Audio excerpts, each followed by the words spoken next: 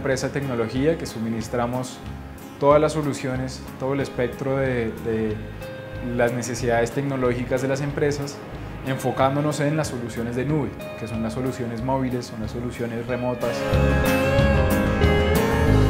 Este documento representa un acuerdo de intención propio de una memoranda de entendimiento en donde las voluntades de las entidades vinculadas se enmarcan en el desarrollo de los objetivos específicos estipulados en el Pacto por el Teletrabajo.